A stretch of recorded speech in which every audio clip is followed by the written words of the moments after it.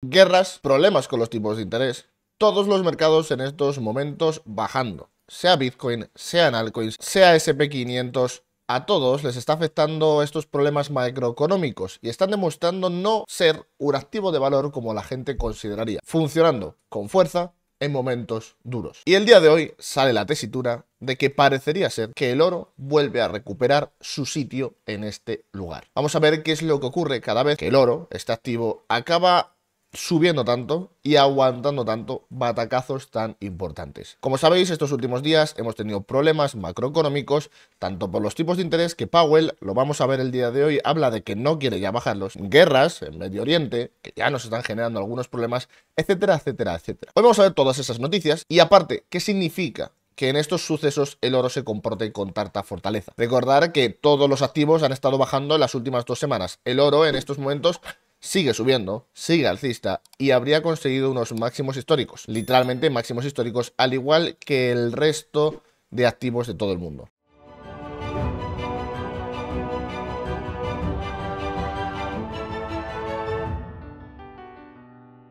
Rápidamente, resumen de Bitcoin antes de pasar con las noticias de oro, noticias macroeconómicas. Ayer subíamos un poquito, lo volvemos a bajar el día de hoy. Nos estamos quedando totalmente en laterales.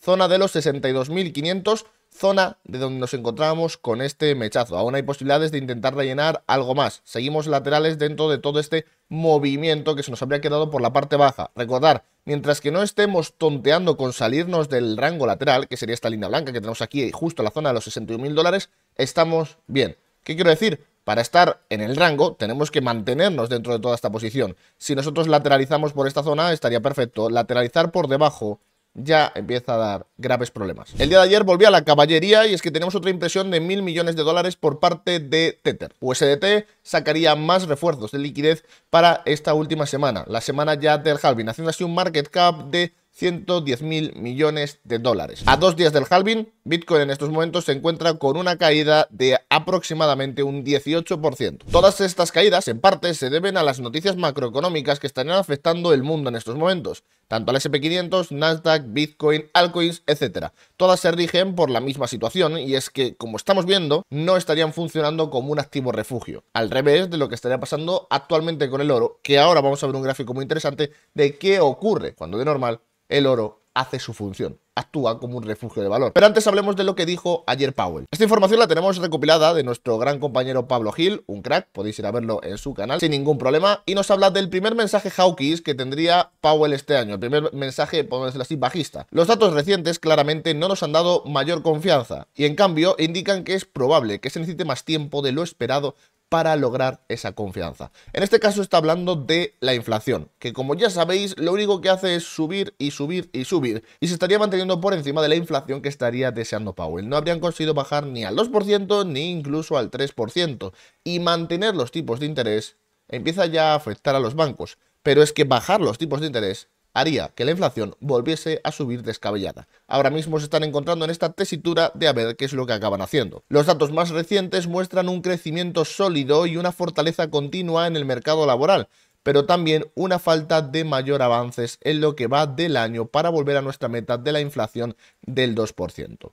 Está hablando exactamente de lo que hemos dicho. La inflación no baja ese 2%, no baja de la zona en la que se encuentra ahora mismo, pero él está viendo que el mercado laboral está fuerte, quiere decir, no está subiendo el paro. Por ende, él estaría diciendo, vale, tener los tipos de interés tan altos obviamente afecta en negativo a las empresas, pero ahora mismo no hay paro, no hay problemas en los ciudadanos, la inflación no ha bajado, no tenemos motivo todavía para bajar los tipos de interés. ¿Para qué vamos a bajar los tipos de interés si nuestro cómputo de personas, digámoslo así, los ciudadanos, nos están viendo sin trabajo? Ahora el mercado descuenta menos de dos bajadas de tipos este año cuando en enero llegó a jugar con la idea de hasta 7 bajadas del 0,25. Al inicio del año todo era muy alcista porque hablábamos de, como se están diciendo, 7 bajadas de tipos de interés. Ya estaban pensando en que iba a bajar hasta incluso el 3% de los tipos de interés. Ahora mismo se estaría hablando que dos bajadas de tipos de interés ya serían mucho. Una hablándola para el mes que viene, que por ahora con todas estas noticias parecería bastante raro de pensar que va a ocurrir, y otra para después del verano. Con ello tenemos al oro que en el último mes habría subido mucho. Estamos teniendo aquí dos meses un 22% de subida. Obviamente para toda la gente que solamente mira criptomonedas, un 22% le parecerá poco. Diremos, en el mismo periodo de tiempo, Bitcoin habría subido más de un 100%. Sí, hasta ahí os pillo, pero el oro de normal se mueve muy, muy, muy lentamente. Estamos hablando de que un movimiento de más de un 2% es algo extraño. Y es que en estos momentos empezaríamos a tener alguna divergencia con el tema de oro. Y lo que tenemos que ver es qué demonios es lo que está ocurriendo, bueno, con el oro en sí. Por pantalla tenemos en el gráfico, en línea naranja, el precio del oro y en línea azul, el precio de las compañías mineras de oro. ¿Cuál es el problema de todo esto, señores? Que ahora mismo estarían teniendo una divergencia muy significativa. Como podemos observar, cuando en 2000, 2008 teníamos unas subidas del oro astronómicas, en este caso iban también con unas subidas de las propias compañías mineras, esta línea azul que incluso consiguieron alcanzar y superar al propio oro. Ahora estamos teniendo al oro otra vez consiguiendo nuevas subidas súper interesantes, pero las compañías mineras todavía se encuentran por la parte baja. Una divergencia todavía bastante extraña en estos momentos. Vale, y más de uno preguntará por qué está pasando esta subida del oro. Estaría ocurriendo por un shock de oferta. Quiere decir, lo que estamos buscando que ocurra en Bitcoin. Hay muy poco oro en los exchanges y la gente compra mucho oro. Hace que el precio suba muy rápido. Es lo que estamos buscando exactamente para Bitcoin. Que haya muy, muy pocos Bitcoins en los exchanges, venga un FOMO por comprar Bitcoins y no haya nada. Así se provoca un shock de oferta, no hay tanta oferta como toda la demanda que nos encontramos y el precio lo único que hace es pumpear. Por pantalla tenemos los holdings de los ETFs de oro. Quiere decir, la cantidad de oro como tal tienen los ETFs del propio oro. ¿Cuánto les queda por detrás para ir ofreciendo a sus clientes? Y vemos que de normal, de normal, salvo alguna excepción, se ha ido comportando prácticamente igual que lo que ocurre con el precio.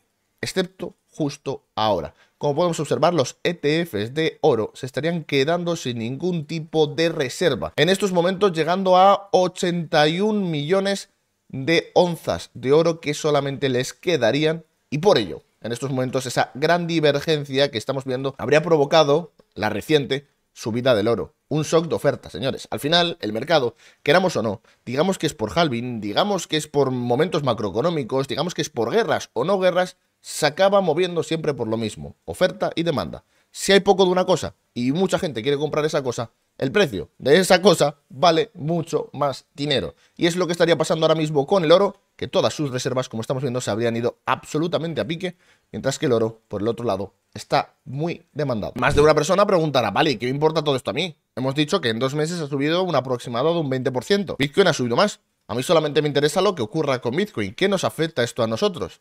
Bueno, pues por pantalla vamos a ver qué es lo que ocurre cuando tenemos movimientos tan elevados del oro. Aquí en pantalla tenemos un gráfico que nos muestra el movimiento a dos meses en porcentaje del oro. Quiere decir, cuánto porcentaje se ha movido en dos meses acumulados. En estos momentos podemos ver dónde nos encontramos ahora. Esta línea roja que tenemos aquí, haciendo así una media de una subida de un 17% en los últimos dos meses para el oro. Como podemos observar, tenemos tanto para bajadas y tanto para subidas. ¿Qué es lo que pasa, señores? Cada vez que hemos tenido subidas del oro tan elevadas de más de un 10%, ha pasado algo malo. Mirar todas y cada una de las ocasiones en las que hemos tenido estos movimientos tan exagerados. El último pico que teníamos tan elevado en los últimos tres años habría sido por el COVID. El siguiente más elevado cuando toda la economía se ralentizaba. Seguimos echando más para atrás, nos tenemos que ya remontar al 2011 en el que se rebajaba el valor de la deuda de Estados Unidos siendo el pico más alto de todos. Y ya si nos movemos a 2008, el exacto máximo que nos encontramos de movimiento del oro hacia arriba sería con la caída de Lehman Brothers. Como comprenderéis, cada vez que el oro sube tanto, tenemos estos picos tan exagerados, sobre todo los máximos hechos por Lehman Brothers, suele ocurrir cuando hay un pánico absoluto en el mercado, cuando todo el mundo está buscando un activo, un refugio valor. La pregunta aquí del millón es, ¿qué demonios está pasando ahora? Porque hemos tenido un movimiento de un 17% hacia arriba y todavía no tenemos nada que nos llame la atención de que va a ocurrir algo estúpidamente malo, porque estamos hablando de que todo esto que ha ocurrido por aquí ha conseguido tirar la economía estadounidense y del resto del mundo en más de una ocasión. Tendremos que ver en los próximos días qué es lo que acaba ocurriendo con el oro y si de verdad hay algo de lo que preocuparnos.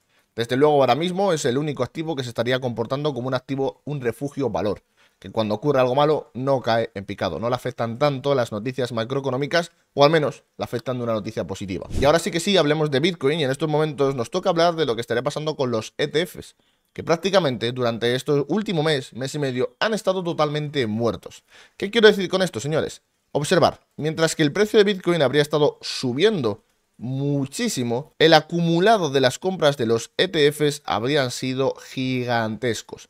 Ya recordamos esas épocas hace mes y medio que provocaban todo el FOMO, porque los ETFs estarían buscando y consiguiendo hacer que el precio suba, suba y suba. ¿Qué es lo que ha ocurrido desde entonces? Desde más o menos mitad del rango, en estos momentos no tenemos prácticamente ninguna compra neta de Bitcoin. Quiere decir, unos días es positiva, unos días en negativa, pero en el último mes y medio los ETFs de Bitcoin han comprado un total de cero Bitcoins. Esa fuerza alcista que teníamos antes ahora poco a poco está desapareciendo. Como recordaréis, los ETFs de Bitcoin no los compran las mega empresas. Los Bitcoin no los acaban comprando BlackRock. Acaban comprando los clientes de BlackRock. Que ahora que el precio no está subiendo totalmente desencadenado, ya no les interesa tanto en el activo. Ya han dejado de comprar, ya han gastado todo lo que tenían. Para que nos hagamos una idea, mirad lo que pasaba, por ejemplo, el día de ayer. BlackRock tenía unas compras de 25 millones de dólares, bastante poquitas. FBTC con solamente 1,4 millones de dólares y por el otro lado Grayscale con unas ventas de 80 millones de dólares. En total acababa con un menos 60 millones de dólares el día de ayer en los ETFs de Bitcoin. Con esto, como hemos dicho al principio del vídeo, recordar, si lateralizamos por encima de los 61 mil dólares es bueno, incluso si nos ponemos en los 60 mil, podría llegar a ser bueno. Cualquier cosa, lateralización que ocurra por debajo de esta zona, señores, recordar, es algo horrible. Si lateralizamos en los 50 mil dólares, no es nada bueno. ¿ok?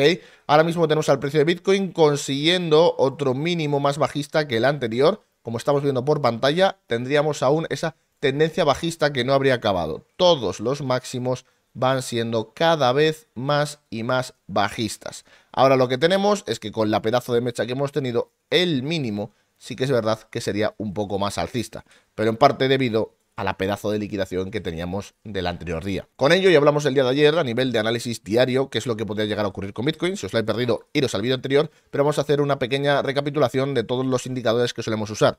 Por parte del spot, recordar, estamos neutrales. Tanto la liquidación como el movimiento hacia arriba no se compró. Ahora mismo nos encontramos en una zona media. Sí que es verdad que podríamos decir que Bitcoin se encuentra en la parte baja de todo el movimiento y que en el apartado del spot se encuentra en la parte media. Podríamos ver ahí una pequeña divergencia alcista, pero que todavía no es nada lo suficientemente importante como para hacer que el precio de Bitcoin cambie su movimiento. ¿Qué sí es lo que tenemos que tener en cuenta, señores? Si nos vamos al indicador del mapa de calor y de los deltas de todas y cada uno de los diferentes tipos de cartera, vemos algo interesante.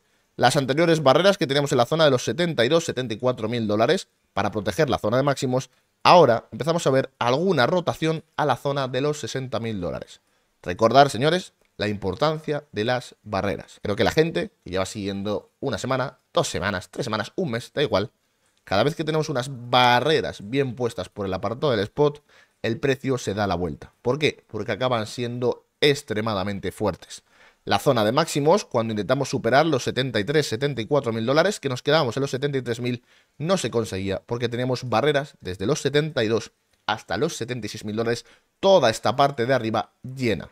Ahora empiezan a aparecer las primeras barreras en la zona de los 60 mil dólares, con lo cual podrían intentar prevenir alguna caída. Pero para ello necesitamos que esto coja algo más de fuerza, porque aún no tiene tanta como nos gustaría.